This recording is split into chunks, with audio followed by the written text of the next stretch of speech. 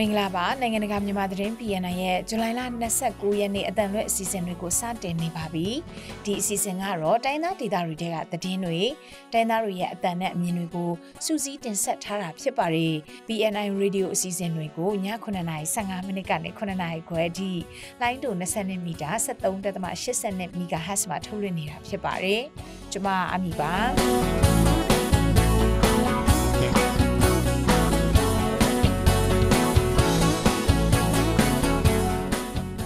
သတင်းတွေထဲမှာတော့ချင်းပြည်နယ်မတူပီမြို့သိမ်းတိုက်ပွဲထဲမှာတော့ထွက်ပြေးသွားတဲ့စစ်ကောင်စီတပ်ဖွဲ့ဝင်တွေနဲ့သူတို့ရဲ့မိသားစုဝင်တွေတဲကလူပေါင်း120ကျော်ကိုဖမ်းဆီးရမိထားတယ်လို့ချင်းညီနောင်အဖွဲ့ကသတင်းထုတ်ပြန်ပါတယ်။မိုးမိတ်မြို့နယ်မှာစစ်ကောင်စီတပ်နဲ့တဟအမျိုးသားလွတ်မြောက်ရေးတပ်မတော် TNL ပူးပေါင်းတပ်ဖွဲ့တို့အကြားဒီရက်ပိုင်းအတွင်းတိုက်ပွဲတွေဆက်လက်ပြင်းထန်နေတယ်လို့ TNL ကသတင်းထုတ်ပြန်ပါတယ်။သတင်းလွှာတွေထဲမှာတော့ဂရီနီပြည်ကခဲသက်ထုထွက်ရှိရာ မော်ချီတောင်ပေါ်ရက်ကွက်နေရာတချို့မှာမြေပြိုမှုဖြစ်ပွားနေတာဘလောက်ထိဆိုးရွားနေပါသလဲပူတာအိုမှာ73စီပြက်လက်မှုကြောင့်ဘလို့အကျိုးဆက်တွေဖြစ်နေသလဲထောင်မကြာခဏပြောင်းနေရတဲ့နိုင်ငံရေးအကျဉ်းသူအကျဉ်းသားတွေဘလို့မျိုးအခက်အခဲတွေ့နေကြသလဲဆိုတာနဲ့အင်တာနက်ပိတ်ဆို့မှုတွေကြောင့်မွန်ပြည်နယ်ကအင်တာနက်သုံးစွဲသူတွေဘလို့အခက်တွေ့နေကြသလဲဆိုတာတွေကိုနားဆင်ရဖို့ရှိနေပါတယ်အခုတော့သတင်းတွေကိုကျွန်မနဲ့အတူစိုင်းမင်းကနေတင်ဆက်ပေးသွားမှာပါ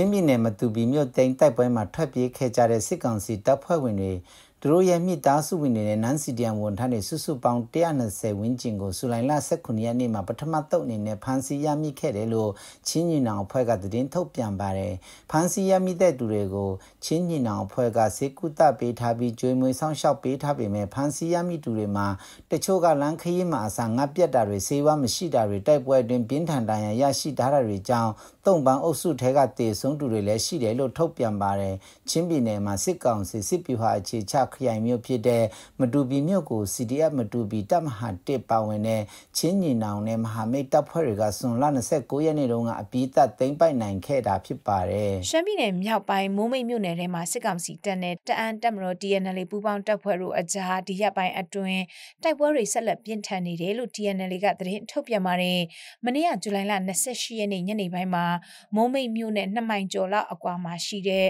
မိုးမိတ်ဗျူဟာကုန်းအနီးတစ်ဝိုက်စစ်ကောင်စီတပ်စကခ21လက်အောက်ခံတရင်3ရင်နဲ့တိုက်ပွဲတွေပြင်းထန်ခဲ့တာဖြစ်တယ်လို့ DNL ကထုတ်ပြန်ထားပါတယ်။မုံမိတ်မြို့တွင်းမှာရှိနေတဲ့စစ်ကောင်စီတပ်ဖွဲ့ဝင်တွေဟာပြီးခဲ့တဲ့ဇူလိုင်လ24ရက်နေ့မှာပဲမြို့တွင်းကနေတပ်ပြန်ဆုတ်ထားရပြီး DNL နဲ့ပူးပေါင်းတပ်ဖွဲ့တွေကထိန်းချုပ်ထားတာဖြစ်ပါတယ်။ကချင်ပြည်နယ်ဖားကမ်းမြို့နယ်မှာအင်တာနက်လိုင်း300ဖို့တုံကင်စနစ်နဲ့တန်းစီနေရပြီးတနာရီကျပ်2000ပေးပြီး သုံးနေရတယ်လို့ဖားကမ်းမြို့ခံတွေကပြောပါတယ်။ဇူလိုင်လ21ရက်နေ့ကစပြီးကချင်ပြည်နယ်တပြည်နယ်လုံးဖုန်းအင်တာနက်လိုင်းပြတ်တောက်သွားတဲ့နောက်ဖားကမ်းမြို့နယ်ပြည်သူတွေ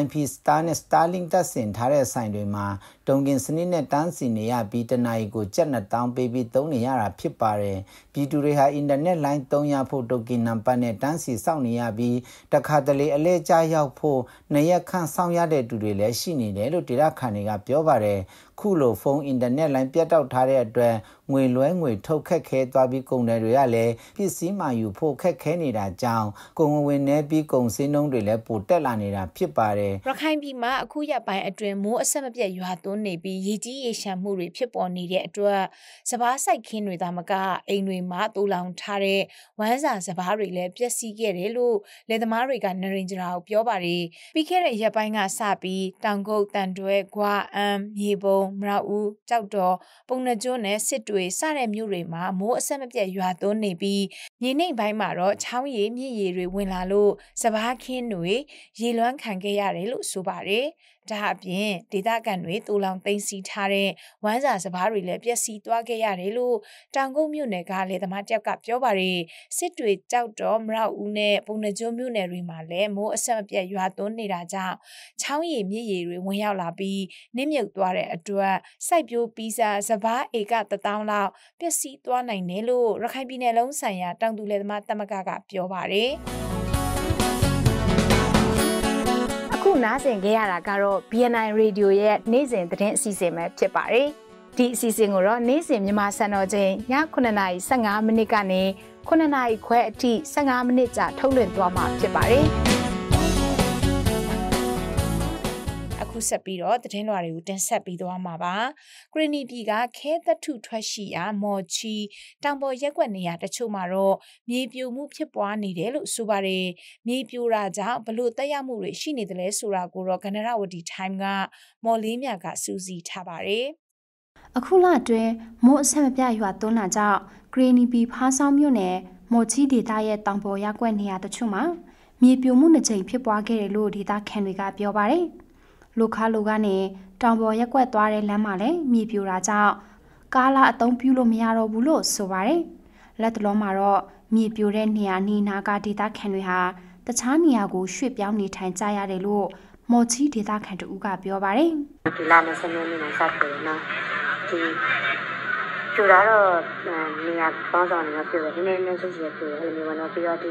တောင်ပေါ်ပြန်လန်းဆိုရင် ပြည့်တယ်ပေါ့နော်ဒီမနေ့ည25နေ့ကဆိုလည်းတစ်ခါပြည့်တယ်အခုရက်ပိုင်းအတွင်းမှာလည်းမိုးအဆက်မပြရွာသွန်းနေတာကြောင့်စိုးရိမ်ပူပန်မှုတွေရှိတယ်လို့ဒေသခံတွေကပြောဆိုကြပါတယ်။ခဲတတူတူဖော်တဲ့လုပ်ငန်းကိုအဓိကအားထားလုပ်ကိုင်နေရတဲ့မော်ချီဒေသမှာနေ့စဉ်မိုးရသည့်ကာလအတွင်းမြေပြိုမှုတွေဖြစ်ပွားနေတာဖြစ်ပါတယ်။အခုနှစ်မှာလည်းမိုးအဆက်မပြရွာသွန်းနေတာကြောင့်အန်ရီစုံအဖြစ်သတ်မှတ်ထားတဲ့နေရာအနီးတွေမှာနေထိုင်ကြတဲ့သူတွေကို တခြားနေရာတွေမှာရွှေ့ပြောင်းနေထိုင်ကြဖို့အသိပေးထားပါတယ်။ဒီမှာစင်ကုန်ကြီးကလည်းနည်းဖြစ်တယ်လို့ရှိရပါတော့။ဆိုရင်တို့ဆရာမဒီမိုးရိုင်းလာလို့ရှိရင်ဆိုရင်ဆရာကပြန်များလာတယ်နော်။အဲ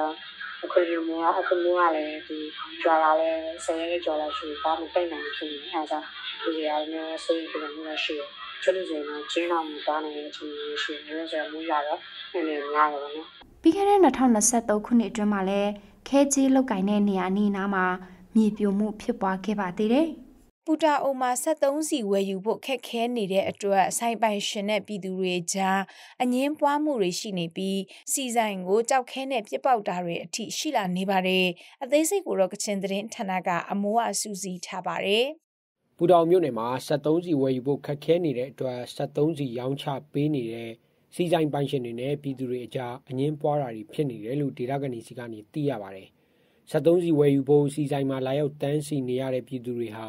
စီဆိုင်တွေကိုဂဲနဲ့ပေါက်တာတွေရှိတယ်လို့ပြည်သူတွေအချင်းချင်းအငင်းပွားတာတွေလည်းရှိနေတယ်လို့ပူတာကိုဒေသခံတယောက်ကအခုလိုပြောပါတယ်။အဲဖုန်းလိုက်လို့နားစီလိုအဲ့လိုလာတိုးကြတဲ့ပြည်သူတွေကအရာနဲ့ခြေရှိတယ်။တိုးလို့မရဘူးဆိုရင်အချင်းချင်းရံဖြစ်ကြ။တချို့သူတွေဆိုရင်အဝေးကြီးကနေကိုယ်မှရှိတဲ့စီကုံခမ်းမိလာတိုးကြတာ။ စီဆိုင်ကနေကုံပြီးပြန်ပြောတော့ကြောက်ခဲနဲ့ပြစ်ကြခိုက်ကြဖြစ်နေကြတယ်ပြီးခဲ့တဲ့ဇွန်လလောက်မှာစစ်တပ်နဲ့ KIA တပ်ရဲ့ညီနိုင်မှုနဲ့အတူပူတာအိုဘက်ကိုတင်တွင်းထားတဲ့73စီတွေလုံလုံလောက်ရှိနေပေမဲ့စီဆိုင်ကြီးတွေဟာပြည်သူတွေကိုလူလောက်ရောင်းချပေးတာမရှိပဲလုပ်ငန်းရှင်တွေကိုမောင်ခုဈေးနဲ့တာရောင်းချပေးနေတယ်လို့ပူတာအိုဒေတာကနေကပြောပါတယ်။ဒါပေမဲ့စီကုံတယ်တွေကလုပ်ငန်းရှင်တွေကိုဒါဈေးနှုန်းတွေမြင့်တင်ပြီးတော့မောင်ခုစနစ်နဲ့ရောင်းချပေးနေတဲ့အတွက် လက်ရှိပူတောင်မြို့နယ်ထဲမှာဓာတ်ဆီတပေပါကို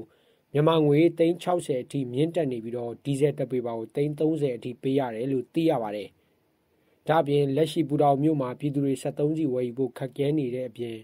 လက်ကားပလင်းချိန်နဲ့ရောင်းချခွင့်မပေးဘဲဖမ်းဆီးတာတွေရှိနေတဲ့အတွက်73စီရရှိဖို့ခက်ခဲနေတာလည်းဖြစ်တယ်လို့ဒေသခံတွေကပြောပါတယ်။ Sika information sharing တော့ဖတ်တယ်တော့မဟုတ်ရှိတာအဓိကတော့ဖုန်းလိုင်းတွေပြတ်သွားတော့ပို့ဆိုတာပေါ့တည်င်းအချက်လက်ရယူတဲ့အခါမှာခါတိုင်းသွားဆရာမတော်ပဲဖုန်းပြောလို့ရပြီမဲ့ဖုန်းပြောလို့မရတော့စင်ကင်နဲ့သွားရတဲ့အခြေအနေဖြစ်သွားတယ်ဒီမှာရှိနေတဲ့73စီတွေကလည်းမောင်ခိုဈေးနဲ့ရောက်သွားတော့ခက်ခဲနေကြတာပေါ့လေဘယ်လိုတန်းရဲမကြောက်ပါအဲတပိုပြင်နေကြရငါပူတောင်မြို့မှာဓာတ်ဆီတပေပါ360ခန်းပလင်းချိန်1လီတာကို12000 စံတအိတ်ကို2သိန်းခွဲ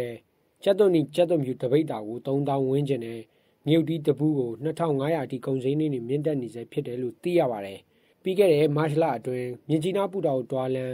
ဆွမ်ရာဘုံမြို့ပေါ်မှာစစ်တပ်နဲ့ KI တပ်တွေကြားတိုက်ပွဲတွေပြင်းထန်ခဲ့တဲ့အတွက်3လဝန်းကျင်လောက်ကားလမ်းမိုင်းကိုနှစ်ဖက်စစ်တပ်ကတွာလာခွင့်မရအောင်ပိတ်ဆို့ခဲ့ပါသေးတယ်ခင်ဗျာ။ စစ်ကောင်စီရဲ့အကျဉ်းဦးစီးဌာနကနှစ်လအတွင်းနိုင်ငံရေးအကျဉ်းသူအကျဉ်းသားအယောက်တထောင်နီးပါးကိုထောင်ပြောင်းရွှေ့မှု၄ကြိမ်ပြုလုပ်ခဲ့ပြီးပြောင်းရွှေ့ခံခဲ့ရတဲ့နိုင်ငံရေးအကျဉ်းသူအကျဉ်းသားတွေအခက်အခဲတွေနဲ့ကြုံနေရတယ်လို့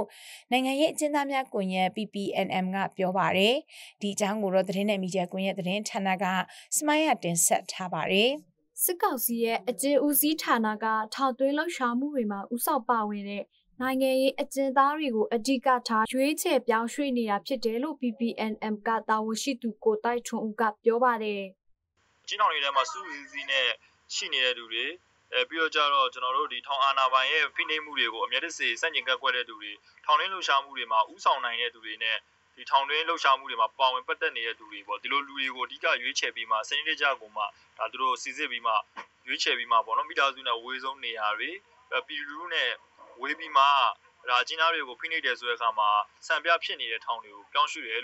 စစ်ကောင်စီရဲ့အကျဉ်းဦးစီးဌာနကနေနိုင်ငံရေးအကျဉ်းသားတွေကိုကြိုက်မရောအကျဉ်းထောက်ကနေဒိုက်ဦးနဲ့တာယာဝရီအကျဉ်းထောက်ကိုတစ်ကြိမ်မန္တလေးအိုးဘိုထောက်ကနေမကွေးနယ်မြင်းချက်အကျဉ်းထောက်ကိုတစ်ကြိမ်အေးစိထောက်ကနေဒိုက်ဦးနဲ့တာယာဝရီအကျဉ်းထောက်ကိုတစ်ကြိမ်စုစုပေါင်း၄ကြိမ်အပြောင်းအရွှေ့လုပ်ခဲ့တယ်လို့ကိုတိုက်ထူကပြောပါတယ် ထောင်အသစ်တွေကိုပြောင်းရွှေ့ခံရတဲ့နိုင်ငံရေးအကျဉ်းသူအကျဉ်းသားတွေကမိသားစုတွေနဲ့ဆက်သွယ်ဖို့ခက်ခဲတာလက်တလုံးမှာထောင်ဝင်စာအပ်သွေးဖို့ခက်ခဲတာထောင်ပြောင်းရွှေ့ချိန်မှာခက်ပေးလိုက်တဲ့ခြေချင်းတွေကိုချက်ချင်းမဖြုတ်ပြီးတာစတဲ့အခြေအနေတွေအပြင်တခြားအခက်အခဲတွေလည်းကြုံတွေ့နေကြရတယ်လို့ကိုတိုက်ထူကဆက်ပြောပါတယ်နောက်တစ်ခုကသူတို့အခုပြောင်းလိုက်တဲ့ထောင်တွေကမူလအကလေးကငကိုမူလအကလေးကလူကြီးတွေကသူ့အနေနဲ့သူပြည့်ကျက်နေတဲ့ထောင်တွေဖြစ်တယ်အဲ့တော့နေထိုင်ရေးကအစပေါ့စိုင်းတောက်ရေး အလဲပေါ့နော်ဖိနှိပ်မှုတွေအစုံအားလုံးတော့သူတို့ကြုံတွေ့နေရတယ်လို့ပြောလို့ရပါတယ်ဗျအခုလိုမျိုးထောက်ပြောင်းရွှေ့မှုတွေအဆက်မပြတ်လုပ်နေတာကစစ်ကောင်စီအကျဉ်းဦးစီးဌာနကနိုင်ငံရေးအကျဉ်းသားတွေကိုရုပ်ပိုင်းနဲ့စိတ်ပိုင်းဆိုင်ရာထိခိုက်နာကျင်အောင်စနစ်တကျစီစဉ်လှုပ်ဆောင်နေတာဖြစ်တယ်လို့ကိုတိုက်ထွန်းဦးကပြောပါတယ်စစ်ကောင်စီရဲ့အကျဉ်းဦးစီးဌာနကနိုင်ငံရေးအကျဉ်းသူအကျဉ်းသားအယောက်900နီးပါးကိုဇွန်လ23ရက်နေ့ကသူတို့သတ်မှတ်ထားတဲ့အကျဉ်းထောင်တွေစီ ပြောင်းရွှေ့မှုတွေပြုလုပ်ခဲ့တယ်လို့ PPNM တာဝန်ရှိသူကပြောပါတယ်မွန်ပြည်နယ်မှာအင်တာနက်သုံးစွဲမှုကိုစစ်ကောင်စီကတားဆီးပိတ်ပင်မှုတွေလုပ်နေတဲ့အတွက်ဘလို့သုံးစွဲနေကြရတယ်လဲဘာအနေရရှိနေတယ်လဲဆိုတာကိုတော့လွတ်လပ်သောမွန်သတင်းအေဂျင်စီကနောင်ကတင်ဆက်ပေးထားပါတယ်မွန်ပြည်နယ်အတွင်းမှာစစ်ကောင်စီလက်အောက်ခံဖွဲ့တွေကနေကိုကန်နဲ့စစ်ကနေ app တောင်းဆွဲသူတွေကိုပုံမှုစစ်ဆေးမေးမြန်းနေတဲ့အတွက်လွတ်လပ်စွာတောင်းဆွဲခွင့်မရနိုင်ဘူးလို့ အင်တာနက်သုံးစွဲသူတွေကြားမှာပြောဆိုနေပါတယ်။ဒီခုရဲ့ပိုင်းတွင်မော်လမြိုင်မြို့ပေါ်မှာစစ်ကောင်စီလောက်ခံဖို့တွေကလက်ကင်ဖောင်းစစ်ဆေးမှုတင်ကျစွာလှောက်ဆောင်လာပြီးတော့စစ်ကနဲ့ VPN နဲ့ကိုကတောင်းဆွဲသူတွေကိုတန်ကြေးပေးဆောင်ရတာဖမ်းဆီးထိမ့်သိမ်းတာတွေပြင်အပြန်အလှန်ဆက်သွယ်နိုင်တဲ့လူမှုကွန်ရက်တွေကိုဒီလာမျိုးဆောင်နဲ့ပိတ်ပင်နေတယ်လို့မော်လမြိုင်မြို့ခံသူကခုလိုပြောထားပါတယ်။ စစ်ကနေကသူတို့တွေ့တော့ရင်ဒုက္ခလလတွေ့တာပဲပြီးတဲ့နဲ့ဆက်သွယ်ထောက်ပါတာဒေါ်လာရေးလောက်တာပဲသူတို့တတ်မှတ်တော့ဘာလို့ကိစ္စပဲပြောပြောမရတော့ဘူးအမလိုင်းရောင်းသူကအစပေါ့နော်မြို့ထဲတော့ရင်ရှင်းထားရတာပဲသူတို့တခုခုတွေ့ရင်ကိုကဘာမှမလုပ်ပေးနိုင်ဘူးဖမ်းရင်ဖမ်းမဖမ်းရင်တန်ငွေဆောင်ရတာပဲ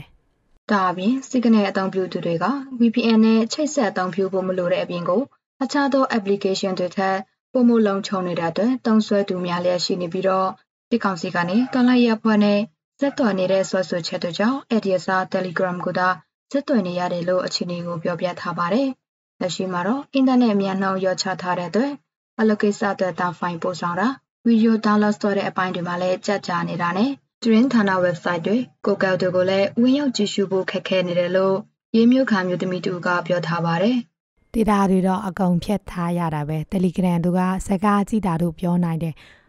မော်ကနင်းရထိုက်မှာဆိုရင်နေ့တိုင်းလူလူဖုံးစစ်တယ်တပ်ပုံဗီဒီယိုကစပေါ်ဖမ်းခံရသူတွေလည်းရှိတယ်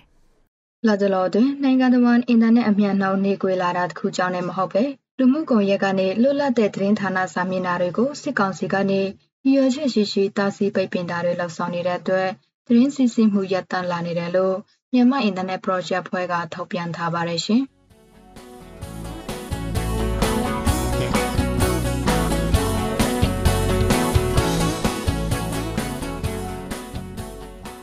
ခုနားဆင်ခဲ့ရတာကတော့ BNI Radio ရဲ့နေ့စဉ်သတင်းအစီအစဉ်ပဲဖြစ်ပါတယ်။ဒီအစီအစဉ်ကိုတော့နေ့စဉ်မြန်မာစံတော်ချိန်ည9:15မိနစ်ကနေ9:00ခွဲအထိ15မိနစ်ကြာထုတ်လွှင့်သွားမှာဖြစ်ပါတယ်။နားဆင်ပေးကြတဲ့အတွက်ကျေးဇူးတင်ပါတယ်ရှင်။